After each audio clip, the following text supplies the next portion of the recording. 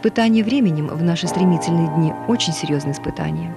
Время меняет масштабы, и порой люди, которые когда-то казались нам значительными, как бы уменьшаются в размерах. Особенно если мы сравниваем их с тем истинно великим, что мы увидели и узнали дальше на своем пути. Время расправляется и с воспоминаниями, стирает и гасит их, если они не стойкие. И то, что в былую пору пленяло или занимало нас – вдруг бесследно уходит из памяти, словно лист, унесенный ветром. Ведь жизнь человека – это миг вечности.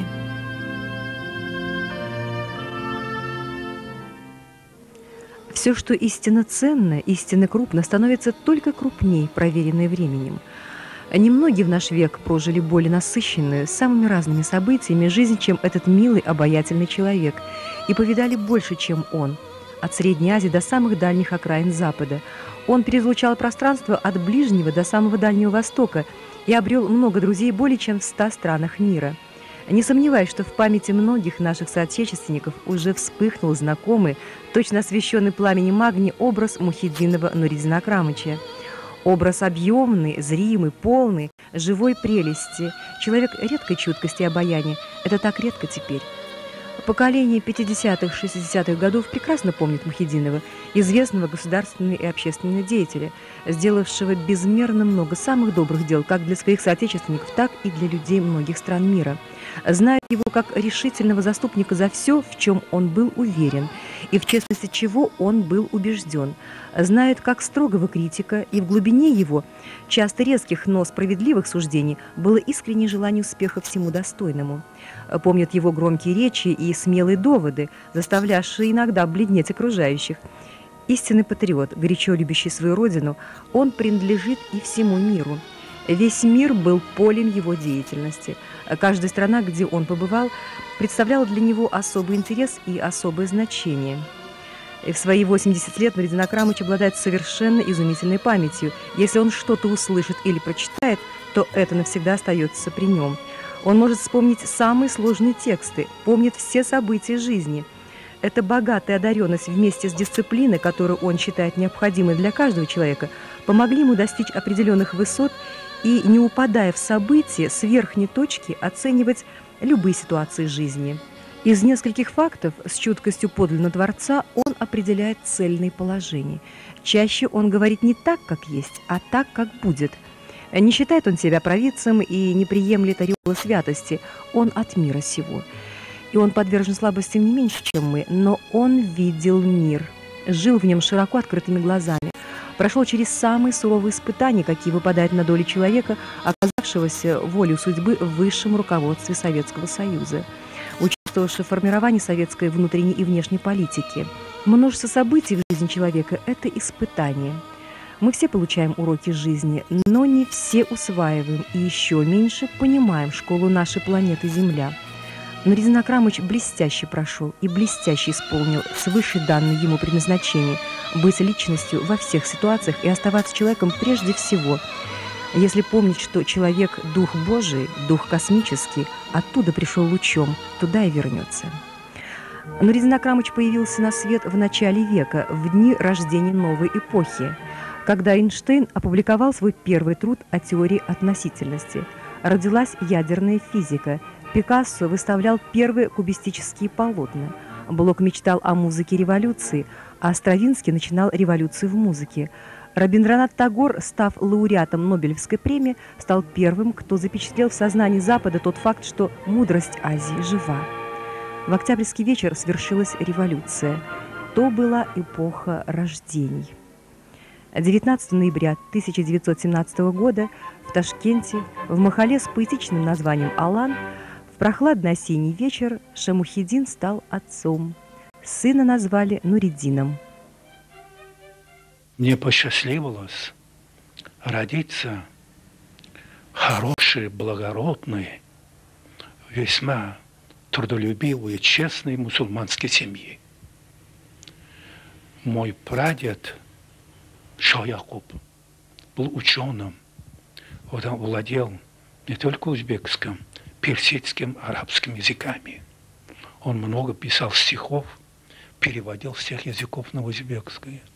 На память знал столько легенд, эпосов, И это Хамсе Наваи. От начала до конца он на память рассказывал. Ну, после него мой дед Акрамшо. У узбеков не принято отчество иметь. Имя и фамилия. Я нарочно взял деда, чтобы всегда он был со мной. Я с ним. Он тоже был таким грамотным, он был э, трудолюбивым человеком. Сад маленький, огород, виноград, и он был шорником. И вот он содержал нашу большую семью. И он тоже много знал. Другой мой дед по линии матери, Махамаджон Ходжи, он дважды посещал Мекки Медине. Он был очень начитанным человеком и довольно обеспеченным. Он торговым работником был. Его считали торговцем гильды номер один. Вот такой был, несколько гильдий. Но отец мой с самого начала советской власти был руководителем Махалли, и совхоза работал, и он такой честный человек был. Вот в такой семье я вырос, где труд, честность и порядочности, знания очень высоко ценились. Вот два примера я тебе приведу, как мой был. Мне было, наверное, 6 лет. На коне мы едем, впереди а дедушка, позади его я сижу. Едем вдруг на улице Чагатая, останавливать коня, мне берет за руку, говорит, слезай. Слез и говорит, вот смотри, говорит, вот нам на тротуаре кусочек от хлеба лежит, лепешка, иди подними. Я подошел, поднял, неси сюда. Принес, он взял платок, вытер это. Маленькая крошечка, сам положил в рот, и мне дал сока ешь, а Соня говорит, вот положи вон туда, выше. Проешь кто-нибудь захочет покушать или для птицев. И это будет. Это. Садись теперь. Сел, говорит, ты запомни навсегда, кто так, говорит, относится к хлебу, говорит, сам он, говорит, без хлеба останется. Хлеб, говорит, нам дал Бог, чтобы мы жили счастливо. Если он отвергает дар Бога, он будет нищим. Вот это я запомнил, как надо дорожить, беречь. Другой еще один маленький пример приведу, потом другой. Как-то мы, дети, учились в школе, возвращаемся в Аллан, в Напротив нас был это шейх Амайки. У него дувал, раньше был маленький, невысокий.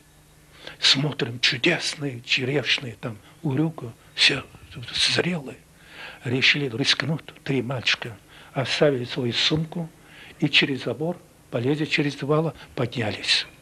И с наслаждением едим черешни.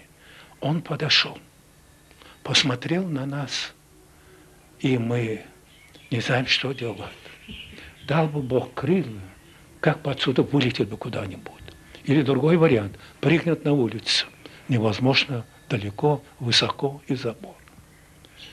И вот он говорит, ешьте, ешьте, мальчики. И все, отошел. Ну, кто из нас будет есть? Не знаем, что дальше. Он подошел, говорит, покушали, говорит, давайте, слезайте. Слезли и, и пойдем за мной. А у него там спа. На спа этот, э, тахта и вокруг курпача. Вот, говорит, арак, пойте себе руки, вот полотенце, Хурхола дала нам полотенце, садитесь. Мы сели на досаргане, черешни, виноград ранные, урюк, э, все, что есть, и клубники, все там есть, лепешки, и чайник чая, два чайника, зеленый и черный. И он, она, Нурапа, его жена, бабушка, она тоже принесла, говорит, ешьте, ребят. Сама она, он нам дал лепешки, и вот он продолжает, говорит, ешьте, ребята. Я вас не, на вас не обиделся. Я рад, что вы зашли ко мне, кушаете. Потому что, говорит, мне уже нельзя кушать. Зубы меня, говорит, не выдерживают. Фрукты есть. Бабушка, видите, какая она старуха. Мы это выращиваем для вас, для людей. Мои дети, вы знаете. Один говорит, ну, что далеко отсюда, другой говорит, уехал куда-то, Бабушка замуж вышла, муж забрал Казахстан. И вот мы вдвоем сидим, видите, какой огород богатый. Вот для вас. Всегда вам, когда хочется кушать, заходите. Но, ребята, говорят, запомните. Вот этот дувал я сделал не для людей, для скота. Чтобы овцы, козы, коровы не лезли. А он говорит, а вам вот дверь. Открыто всегда, нет ключа, нет замка. Любое время заходите, ассаламу алейкум, поздоровиться, руки помыть, лезьте на любое дерево. Кушайте столько, сколько хотите. Если хочется взять с собой, берите для своих родителей. Вот мои слова вам, чтобы было наставлением на будущее. Вот оттуда вышли, вот видишь, с дедом 6 лет было. Значит, 71 год тому назад. С Шейхом Аким, это было, наверное, мне было 8 лет. Значит, тоже 69 лет. На всю жизнь. Это для меня была школа. Ну, а потом меня воспитали такие люди, великий певец Туч Хапус, он сейчас у нас был с моим дедом, он певец. И потом это Ишан Бабахан, это прадед нынешнего хакима, этого нашего муфти. Он у нас бывал часто, он меня воспитывал. Абдакадари часто у нас дом был, с моим отцом он дружил. И потом Абдулла Авлани, первый марксист, еще в 18 году манифест коммунистической партии он с немецкого перевел на узбекский язык. Вот с такими людьми я вырос здесь, а потом в 1934 году поехал в Москву. Подающий надежды юноша был направлен наркоматом просвещения на учебу. В Москве, будучи студентом, Друзин Акрамыч в марте 1938 года стал очевидцем потрясшего его события свидетелем суда над ведущими деятелями партии большевиков Бухариным, Рыковым, Икрамовым, Хаджаевым и другими. Они сидят, Бухарин, Рыков, шестим или еще таким-то Акмаль Икрамов, седьмым или восьмым Фазил Хаджаев и так далее. Все они сидят, все руководители. За каждым из них солдат с ружьем, винтовка – и штиком стоять. Ни в коем случае друг с другом не надо разговаривать. Ну, там Вышинский, его помощники, с этой стороны секретариат. В зале нас несколько человек. Так не представляю себе, я ночью, если вспомню, тут же я должен встать. Знаете, чего? чего? Мы на Икрамова, на Фазла Хачаева, в Узбекистане молились. Наши вожди были – Всюду мы несли их портреты. Мы все, я тоже нес их портреты. Первые советские руководители, узбеки, до него был и это Иванов первым секретарем. И вот их вдруг на скамье подсудимых, арестантские халате, они сидели, за каждым из них все это солдат со штыком, с винтовкой. Суд идет, знаешь, я думал, я в обморок упаду. Настолько для меня это было, это непонятно все это дело. Ну, секретарь со мной сидел вот утром, он взял меня крепко за руку и говорит, держись. Вот там их судили. Но нас пускали на одно заседание. Как раз, когда мы первый раз пахали, допрашивали Бухарина и Рыкова. Но мне очень хотелось слушать и Крамова, и Фазла как это получится. Потом вернулись, получилось у нас заседание, на одно заседание. Вернулись, я убедил, всех просил, умолял, а меня достали еще на одно заседание. Это было 11 накануне заканчивается годица.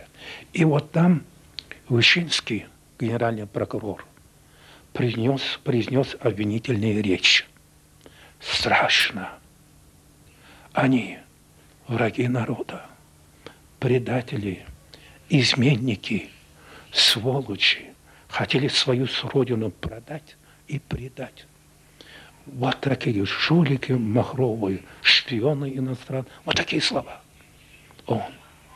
И тогда, закончив это Ульрихт, генерал-полковник юстиции, он председательствовал. Вышинский генеральный это прокурор, он обвинил. И так он дали слова обвиняемым.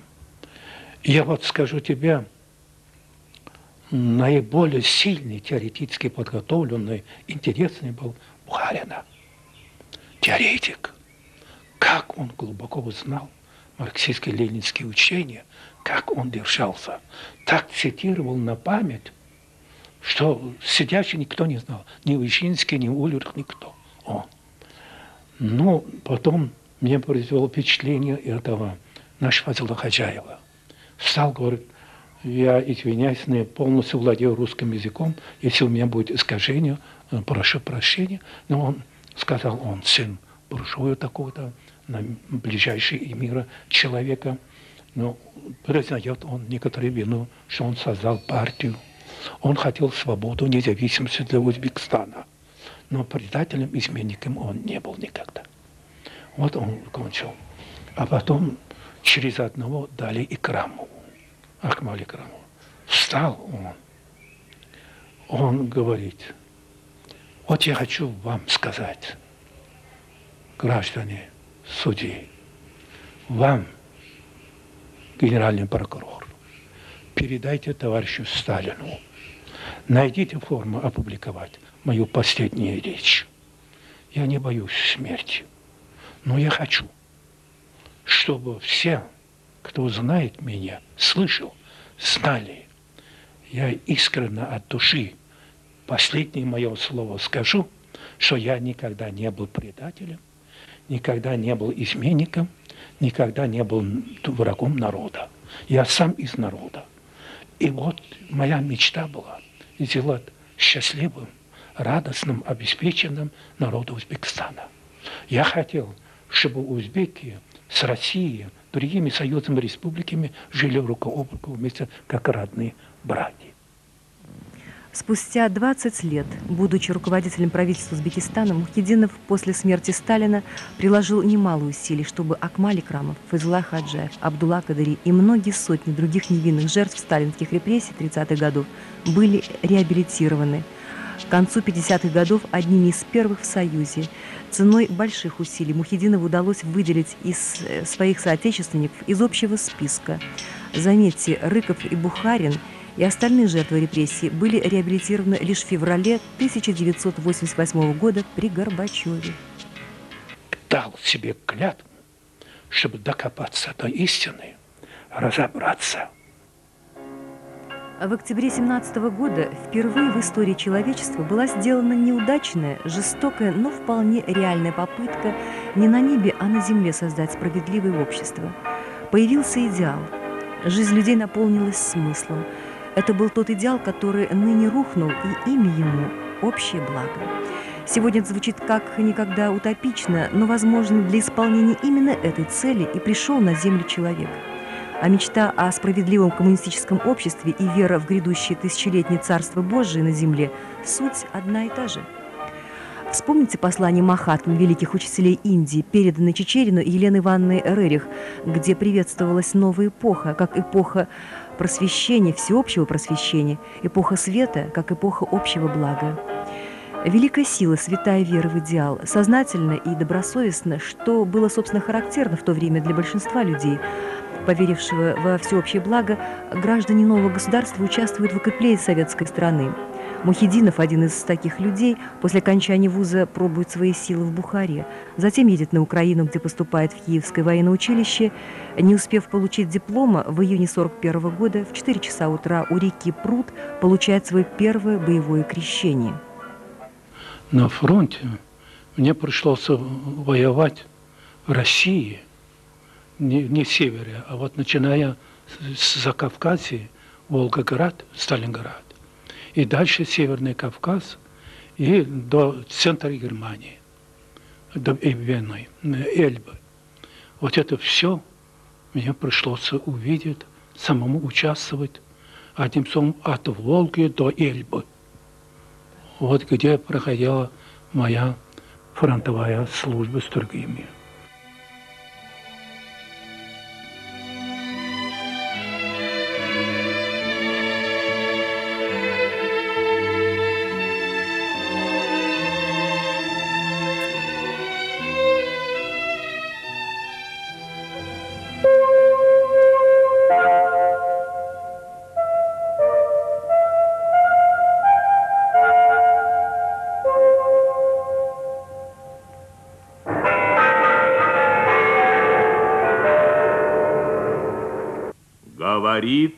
Москва, Великая Отечественная война, которую вел советский народ против немецко-фашистских захватчиков, победоносно завершена.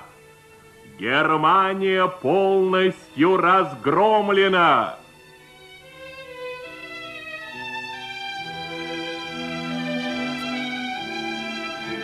Возвращение к мирному труду. Случайная встреча с другом детства Якубом Алиевым, ставшим министром только созданного в Министерстве иностранных дел Узбекистана. А несколько позже с Усманом Юсуповым, хотя, конечно, ничего случайного не бывает. Мухидинов привлекается в аппарат руководства республикой. Лектор ЦК, первый секретарь Наманганского обкома партии, секретарь по идеологии и первый секретарь Ташкентского обкома партии – председатель Совета министров Узбекистана, первый секретарь ЦК Компартии Узбекистана, с 1951 года член ЦК КПСС, входит в состав Политбюро ЦК. Этой ступени он достиг 40 годам. Но Резин Акрамыч оказался самым молодым в высшем партийном руководстве и единственным за всю историю КПСС представителем от среднеазиатской части Советского Союза на вершине партийной и государственной власти – вот на днях мне прислали из Москвы журнал «Ежемесячник» совершенно секретно.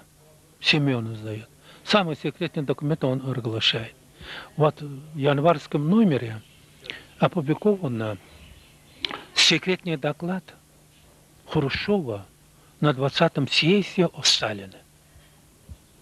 И он фотографии берет на первой странице самого Хрущева, на второй странице – несколько человек нас на закрытом заседании 20-го съезда. Проводят, руководят Булганин, а мы сидим. Молотов, Ворошилов, я и Жуков. Да. И автор пишет, что, к сожалению, ну, пишет, как это проходило закрытие заседания, о чем говорили. К сожалению, много не можем сказать, потому что многие уже вышли из жизни, ушли остались единицы. Вот так. И обо мне тоже широко пишет. Опубликовано там в целом неплохо, но много вранье. Потому что дали интервью совершенно некомпетентные люди, которые не участвовали на заседаниях Политбюро и так далее. Вот Семичастин, Щелепин, Щепил и так далее. Так вот, на днях мне оттуда позвонили, говорят, Нурдун Акрамович, обратили внимание, мы там вас не цитируем. Вы знаете, вы живы, работаете, книгу вас читали. Ваша книга, говорит, вдохновила нас, чтобы вот такой дать материалов. Но там, говорит, а вас ничего нет о ваших высказываниях. Убедительно просим, присылать интервью, мы пошлем. Или сами приезжать, как вам удобно продолжать эту тему, вынести полную ясность. Мухидинов не просто политик, он философ, государственный деятель. Так называемое время оттепели – это лучшие годы его жизни. Будучи первым человеком в правительстве Узбекистана, он занимается национальными вопросами внутри советского государства и восточной политикой на международной арене. Собственно, в связи с этим Хрущев и пригласил его работать в Москву. Находясь на этом посту, в 1956 году неоднократно выступал о необходимости реабилитации невинно пострадавших народов Северного Кавказа, Крыма, Закавказья, высланных в Сибирь, Казахстан Узбекистан. Добился выхода указа о реабилитации чеченцев, карачаевцев, ингушей, балкарцев, калмыков и других народов. Они были восстановлены во всех э, правах политических, территориальных, была оказана помощь в возвращении на родину.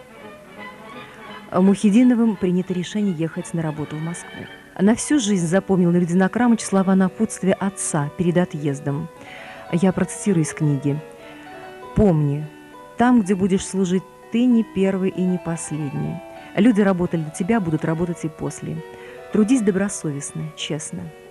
Самое опасное – злоупотребление властью. Будь с людьми, особенно с подчиненными, скромным, веди себя как равный, умей прислушиваться к ним – Сделать так, чтобы после твоего ухода на другую работу в этом коллективе всегда о тебе вспоминали добрым словом.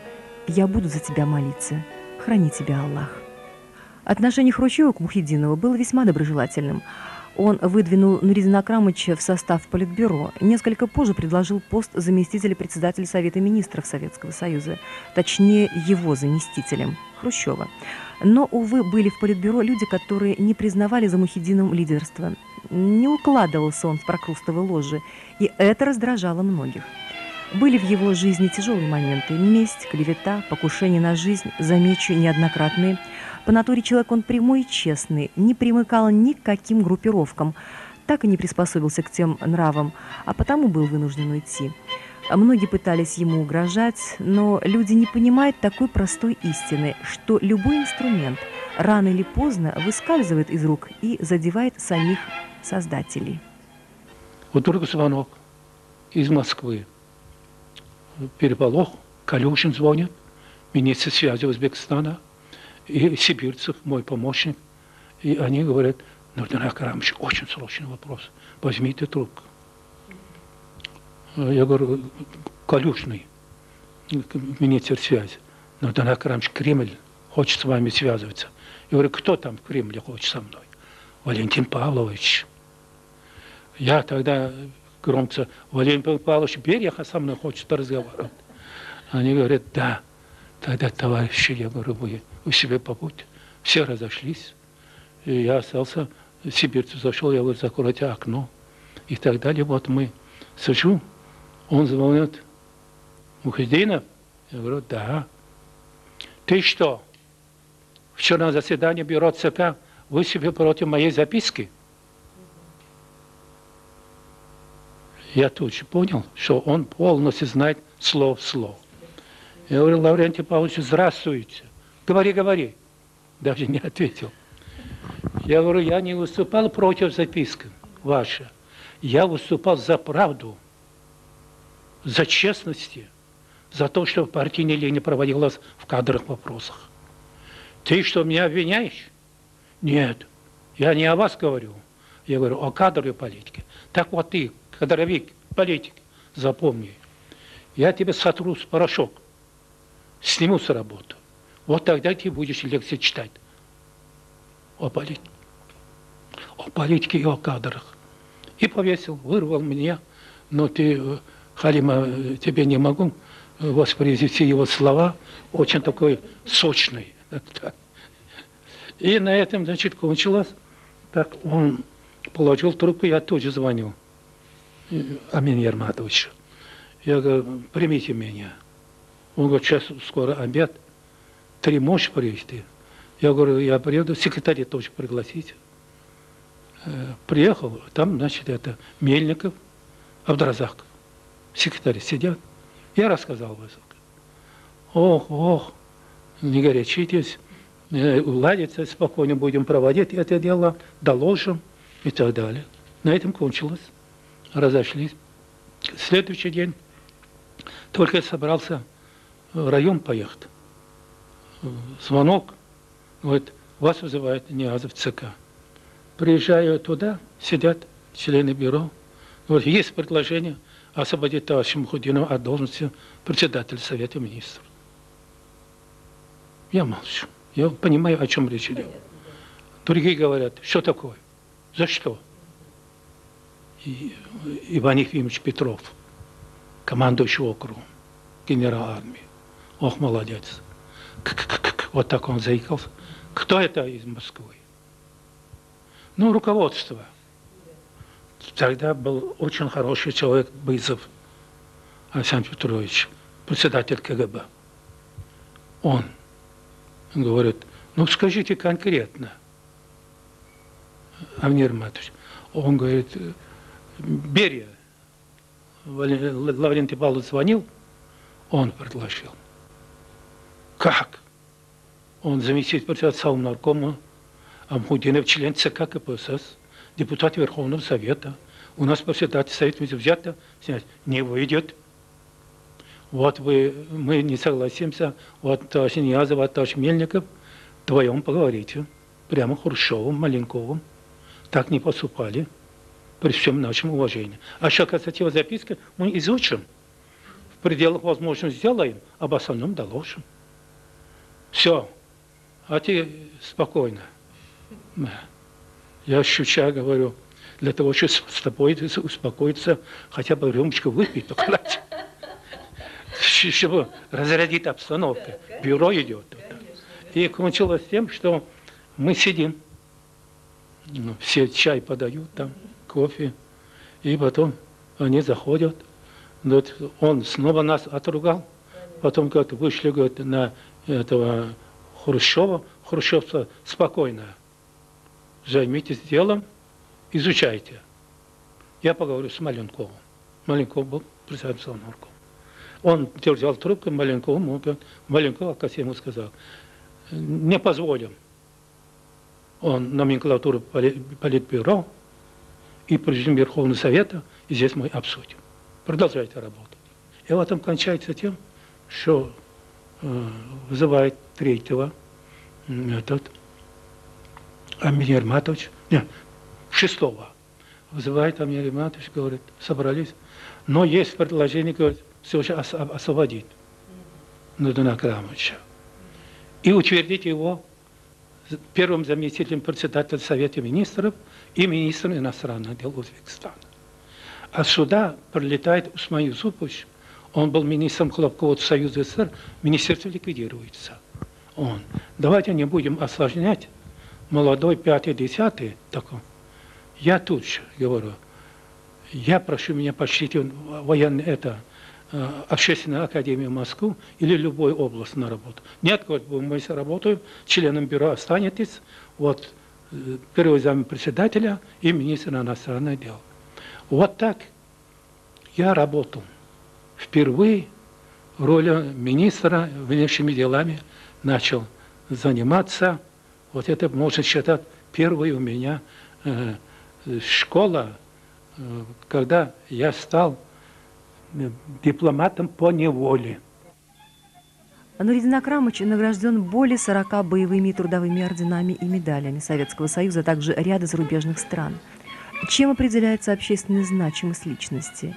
Не званиями и наградами, изрядно девальвированными в наше время, скорее любовью народа. Одними людьми восхищаются, других почитают, его любили – много сделал Мухидинов для своего народа, для республики. Выбивал в госплане фонды, финансы, строительные материалы, лес, продовольствие, различное оборудование. Строились новые дороги, растительные каналы, появились новые научные институты, вузы, больницы, школы, заводы, фабрики. В ноябре 1956 года в Ташкенте был открыт первый на Советском Востоке телецентр. Построен аэропорт. Большим событием тех лет стал Всесоюзный съезд хлопкоробов, состоявшихся в Москве. Большое внимание было уделено культуре, литературе, искусству. Ему принадлежала идея проведения Всесоюзного съезда интеллигенции в Ташкенте. С расширением связи со странами Запада и Востока роль интеллигенции бесспорно возрастает. В октябре 1958 года в Ташкенте состоялась первая конференция писателей стран Азии и Африки – Здесь же стали регулярно проводиться международные кинофестивали.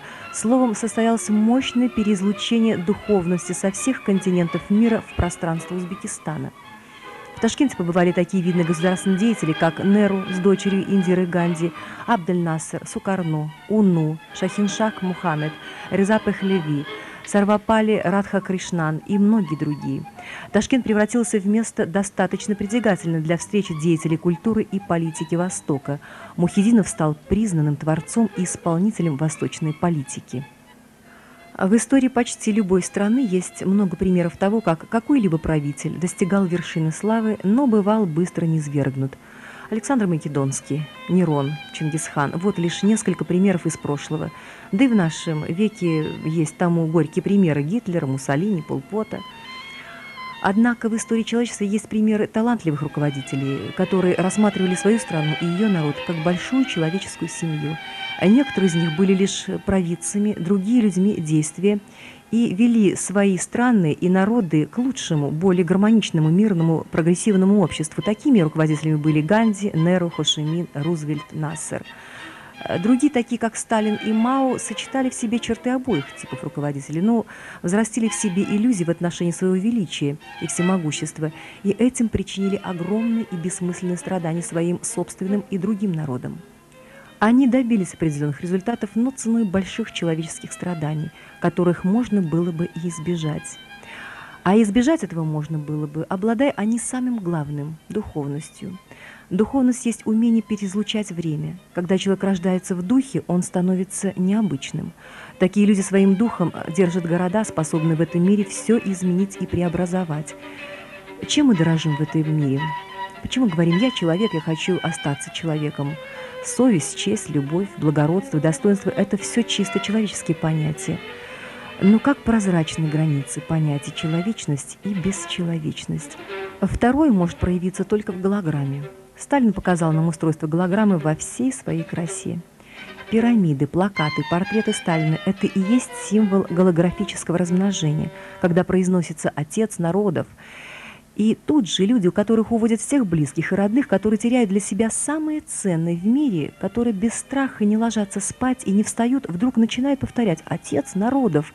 Что же сумел сделать этот Отец народов? Он сумел размножить голографический образ этого среднестатистического больного человека. Гениев с алитонами в ГУЛАГ, чтобы не мешали, а остальных, живущих в голограмме, достаточно было спрессовать и выбить золотую середину. Ради этой середины – чтобы их не трогали, люди были готовы продать кого угодно. И здесь, в этом мире абсурда, Мухидинов не потерял, на мой взгляд, солитонного звучания. Много успел сделать Мерзин Акрамыч, безмерно много. Но все, что он сделал, могло бы кануть в безвестность, не соверши он самого главного поступка. В жизни приходится принимать решения, за которые можно поплатиться свободой или головой. Часто жизнь предлагает нам сделать выбор, либо немного уступить силе, пригнуться или же устоять, слегка распрямиться и сделать выбор верхнего порядка, выйдя на точку золотого сечения. А произошло следующее. В 1949 году Мухидинова на стол положили список из 60 человек, подвергшихся репрессиям. Его подпись должна была быть последней. Он содрогался, прочитывая фамилии известных писателей, ученых, деятелей культуры и искусства – каждой строчке, за каждой фамилией он видел большую человеческую жизнь. Вот их считают, говорят, националистами. Против советской власти национализм они э, ущерят.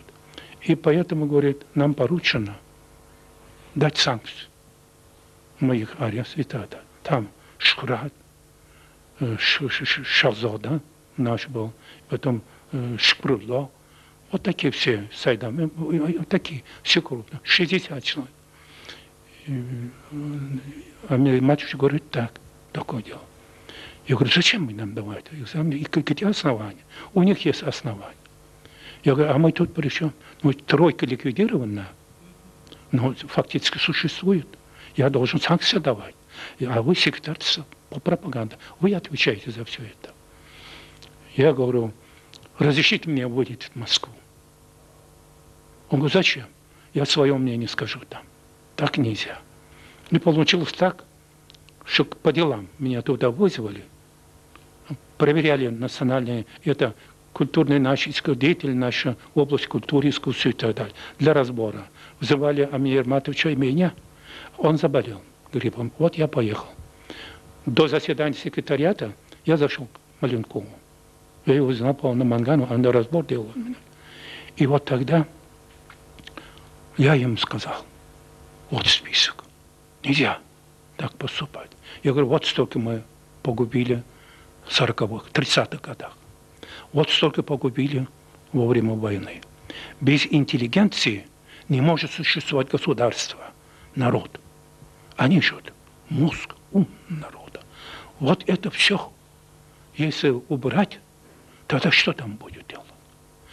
А ты что говоришь? Я говорю, нельзя. Дайте нам спокойно разберемся и определимся. Он говорит, я посоветуюсь. Ну, видимо, он посоветовался с Сталиным, что ли, я не знаю. А потом говорит, а, потом он мне говорит, а он говорит, а это ты лично свое мнение говоришь? Мне он говорит. Я говорю, да, это мое мнение. А как остальные, как Ниязов? Я говорю, а, а Ерматович сказал, что линию партии нам надо строго придерживаться. Ну, я пишу это. Он говорит, правильно сказал Ниязов, линию партию надо строго придерживаться, на то ему руководители, народ и руков... Э, а, актив выполнял. Но и ты прав. Индивидуально надо разобраться с ними. Вот вы разберитесь и решайте сами. Я говорю, решать-то будем, если отсюда не будет команда. Прокуратура, МВД, КГБ, Верховный суд и так далее. Он говорит, мы позаботимся, чтобы они там санкции дали. Вот приехали мы, они уже были, сидели в тюрьмах. Все они по два, по три человека по камере одной. Вот. Шкурло и Шейхзода в одной камере и так далее. Вот так все были. И вот после этого мы реабилитировали всех до единого. Кто спас одну человеческую жизнь, тот спас целый мир, гласит восточная мудрость. А он спас 60 замечательных человеческих жизней, рискуя потерять свою.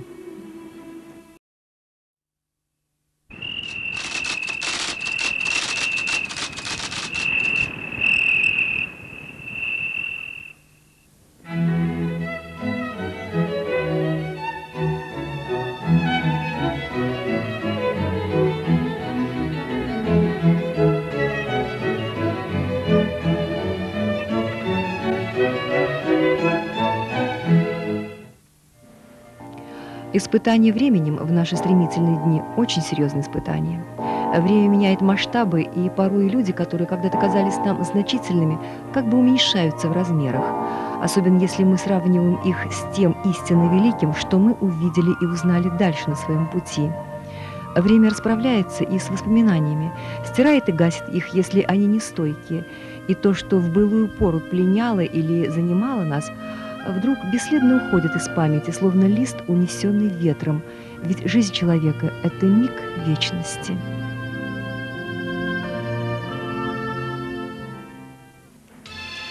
На родину в Ташкент Мухидинов вернулся в марте 1986 года.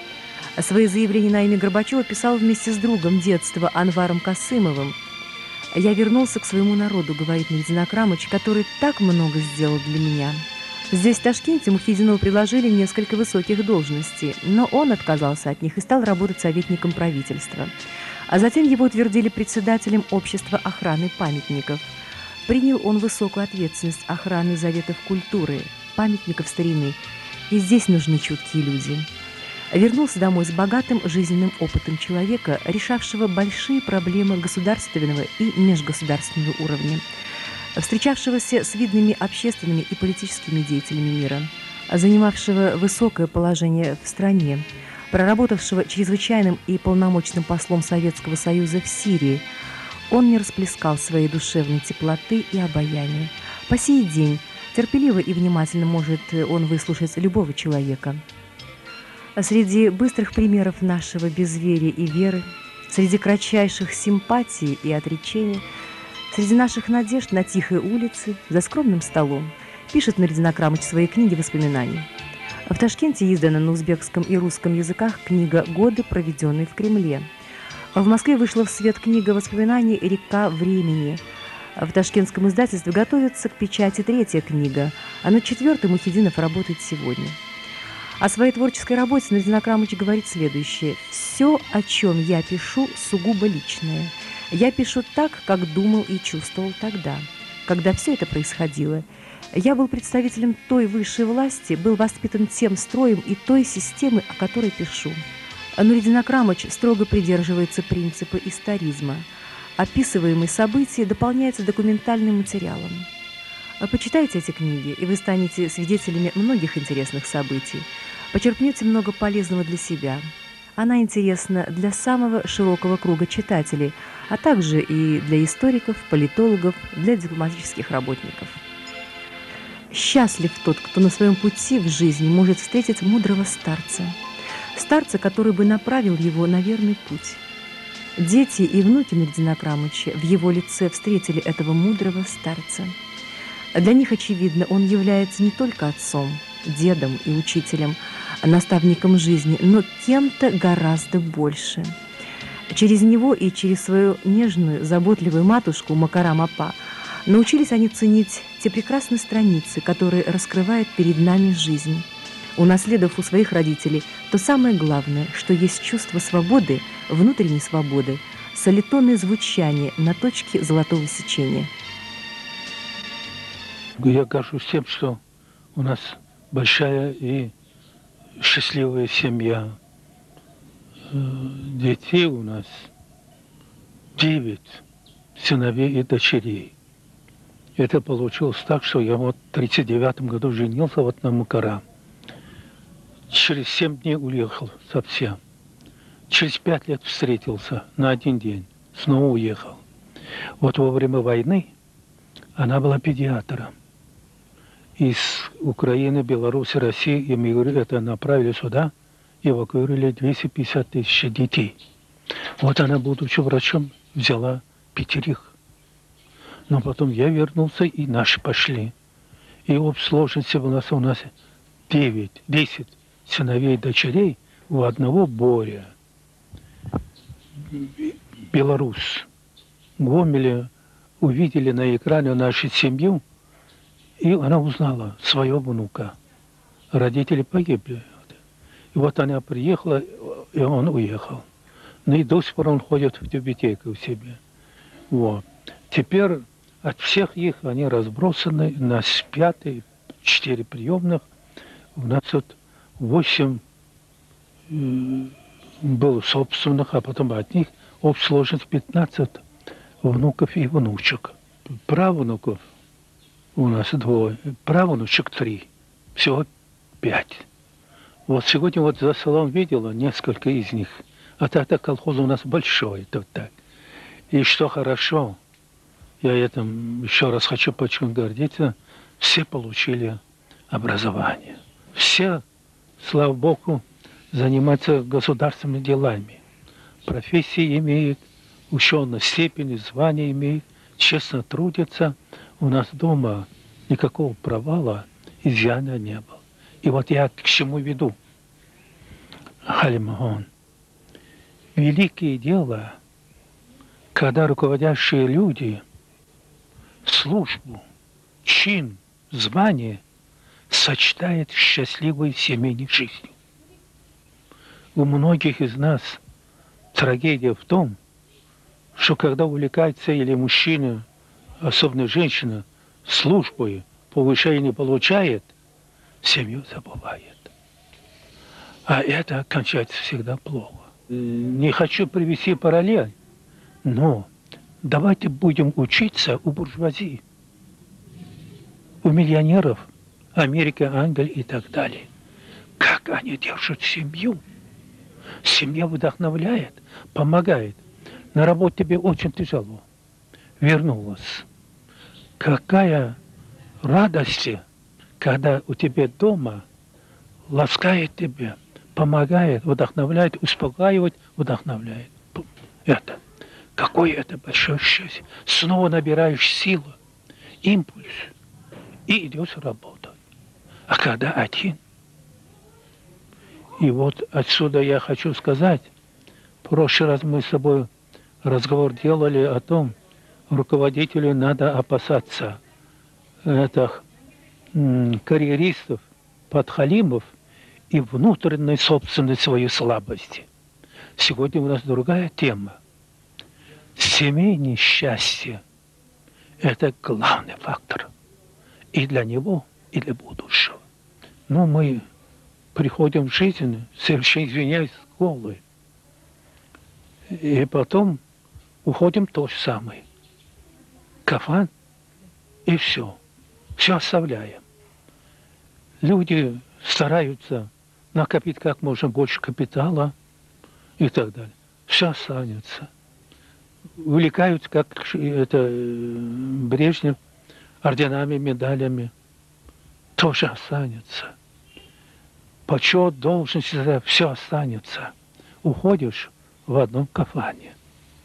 Но все остается.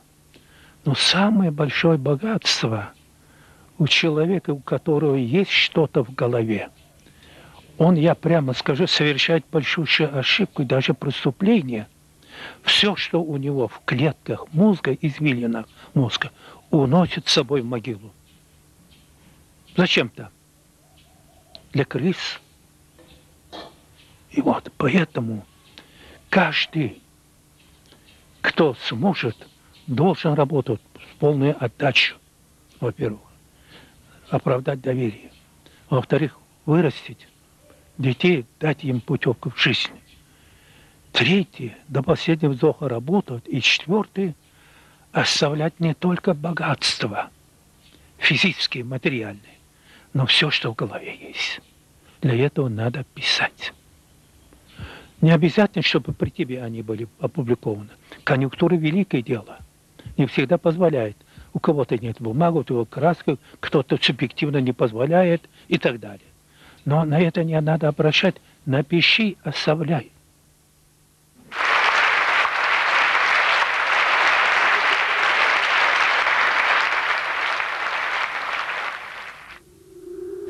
Исследуя человеческую историю, не посещает ли вас мысль о том, что сцены давно разыграны и роли уже исполнены, а люди, иногда с горечью думаем мы, только повторяют мизансцены, надевают маски, героя, жертвы или предателя, но иногда, как озарение, человек отказывается в классической мизансцене играть роль римского прокуратора, не умывает руки, а уберегает человеческие жизни, думая не о наказании земном, но о суде Высшем. Кто спас одну человеческую жизнь, тот спас целый мир.